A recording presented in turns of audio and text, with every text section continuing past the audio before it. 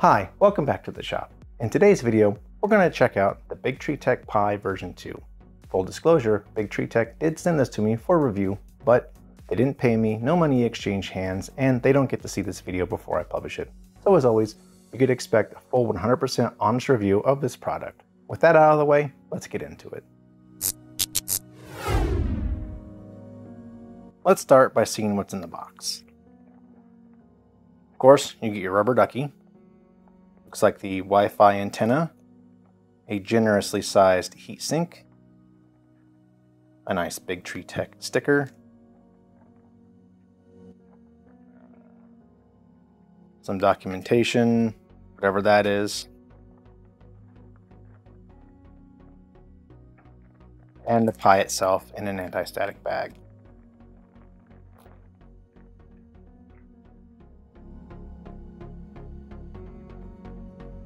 Next, let's go over some features and specifications. I'm getting this information directly from the user manual that you could download from the Big Tree Tech CB2 GitHub, linked in the video description. For the CPU, it's got a quad-core Cortex A55 at 1.8 gigahertz. It's got 2 gigabytes of DDR4 RAM.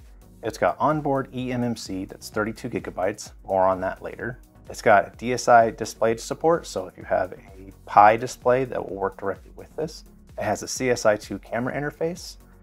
It's got three USB 2.0 ports and one USB 3.0 port and a gigabit ethernet connection. It also has a PCI Express 2.1 by 1 that supports an M.2 2242 storage if you wanted to go that route, and a micro SD slot as well. You also get a 3.5 millimeter audio jack, your 40 pin GPIO, HDMI 2.0 output that can do 480p to 4K 60 Hertz, and it can be powered either by USB-C or 12 to 24 volts and directly to the board. For wireless connections, you get dual band Wi-Fi, so 2.4 or 5 gigahertz, and also Bluetooth 5.2. For the purpose of this test, I'm going to install this into my Two Trees SP5. This machine currently has a Pi 1.2 in it, so it should be a pretty straightforward swap out. First, I had to make a slight modification to the 3D file for the mounting bracket that I had originally devised for the Pi 1.2. It's as simple as changing the hole locations and repairing whatever geometry that might get broken doing this process.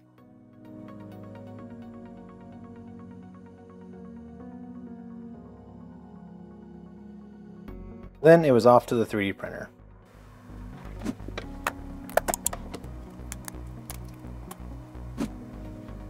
Before getting too far, we got to get the heatsink onto this thing.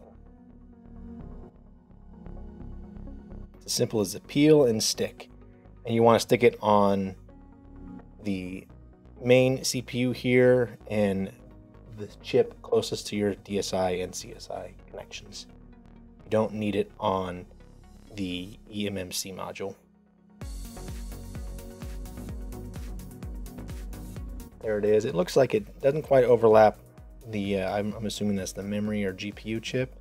Maybe it only needs to be on the main CPU chip, but it doesn't hurt to have it on both. It gives cooling for both, so um, I don't expect heat to transfer over to cause any issues. But uh, only one way to find out.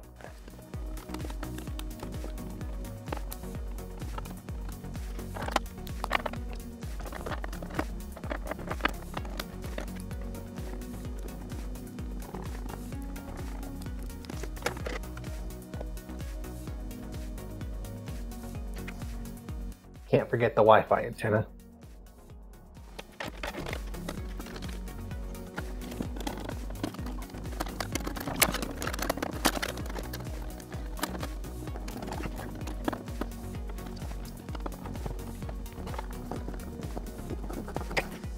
That was a bit more fiddly than I wanted it to be.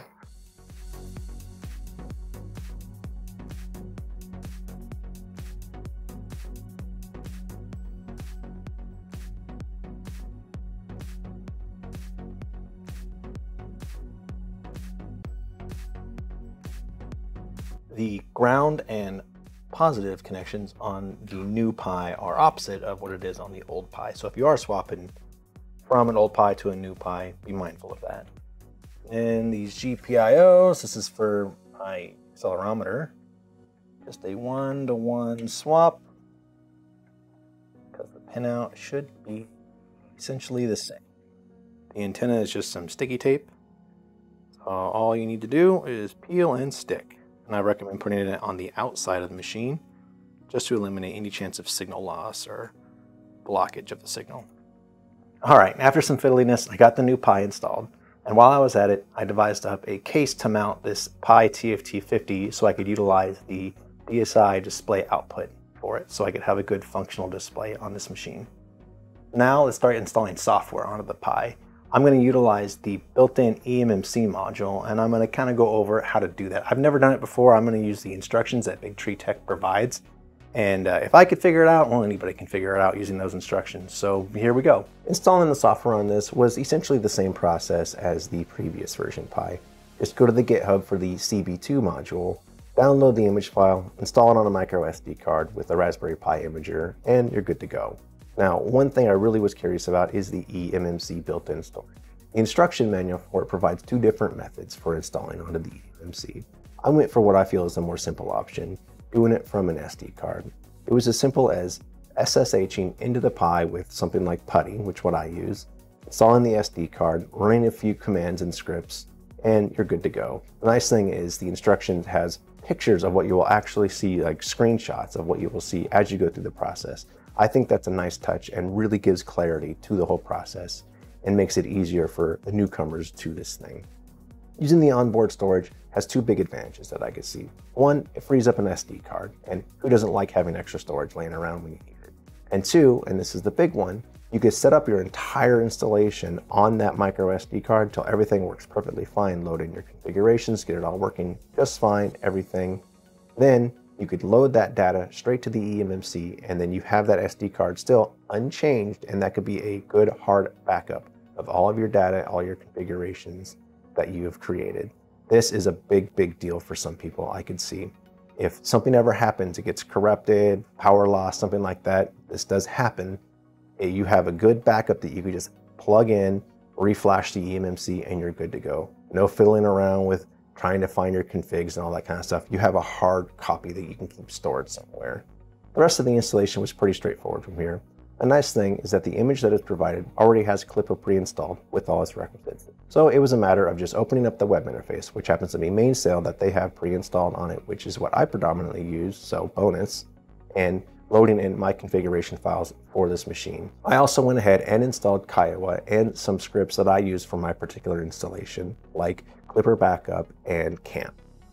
All of this went just about as well as you could expect. Now, since I had previously had Klipper installed on this machine, I didn't have to fiddle around with generating a firmware file for the MCU or the main board on here, so that saved me a little bit of time. I will say that this didn't go without its fair share of hiccups. One of them being that I couldn't get the Wi-Fi to connect originally. After some fiddling around with it and trying to figure it out, I realized that my antenna placement was abysmal. Apparently, unlike the previous version Pi, you cannot stick the antenna directly to the metal case of the machine. So all I had to do was move it up a couple inches to the polycarbonate plexiglass side of my pseudo enclosure here, and then it was just fine. Second one being mainly my fault is that the display didn't come on right away. Actually, the whole Pi and display combo wouldn't power up. I did notice pretty quickly that the ribbon cable for the display got mighty hot, mighty quick, and I was able to power it off before any damage major damage could have been done. And I figured out that hi, silly me, had the ribbon cable plugged into the CSI port instead of the DSI port. Apparently you can't do that. Um, so uh, like I said, my fault. I wasn't paying enough attention to the instructions or the how they have a picture of the layout of the board. The picture for those two connectors are super zoomed in. They're right next to each other and the lettering, the labeling on the silk screen it's kind of hard to read. It's very small letters and it's kind of deep in there. So um, again, my fault. I wasn't paying attention. I was able to put it in the right spot and luckily no damage was done. Turn it back on, everything came on, screen came on. So good to go there. The last hiccup being that my accelerometer, it is a Big Tree Tech ADXL, but it's the version one, so it uses an SPI interface. Um, it is not recognized by the Pi. And According to their website, it doesn't have an SPI interface, but on the um, environment uh, configuration, there is some SPI options, but they're for overlays. I don't know what they mean. I couldn't find any specific SPI plug-in or port, and I expected them to go through the GPIO like on the previous version Pi or on an actual Raspberry Pi.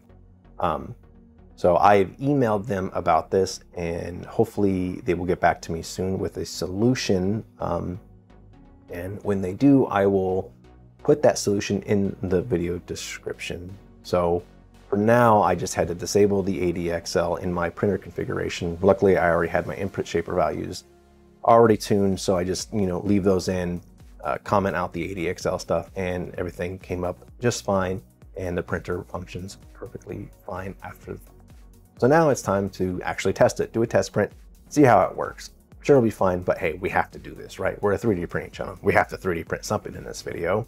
So I'm gonna load up a spool of filament. I think I have some, uh, well, I have some copper PLA that looks pretty snazzy. So I'm gonna get that loaded up and get uh, like a Benchy or something started. And then while that goes, I'm gonna talk about pros and cons and uh, a few other thoughts that I had. So be right back. All right, final thoughts here. Let's talk about pricing. This thing comes in right now for $50 US from the Big Tree Tech website. I currently can't find it on Amazon or any other e-tailers, but I figure here pretty soon they will start making their way over to other stores to buy it from. Um, so this is starting to, in my opinion, move its way a little bit outside of the more budget range for Pi alternatives, although there are still more expensive options out there that I would feel aren't quite as capable as this, um, and it's still not touching quite the price of a Raspberry Pi 4 or 5 right now, if you could still find them. But if this is within your price range, I think it's well worth it.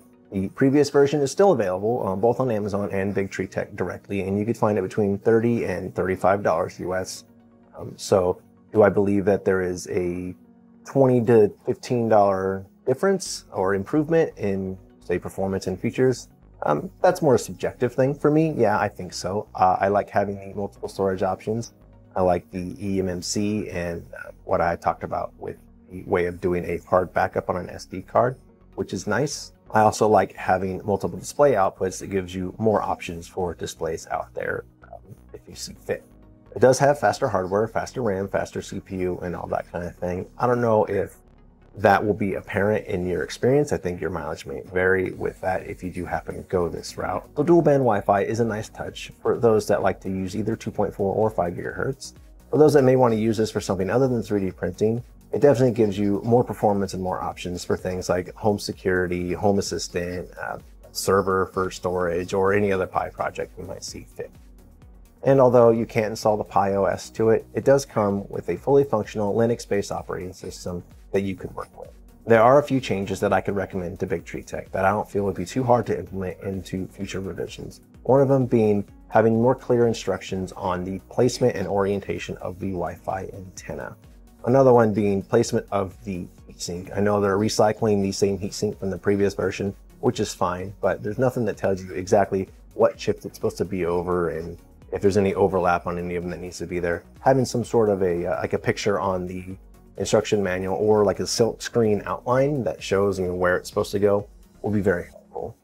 Also, the CSI and DSI ports on the board are very close to each other and can be confused pretty easily if you're not really paying attention.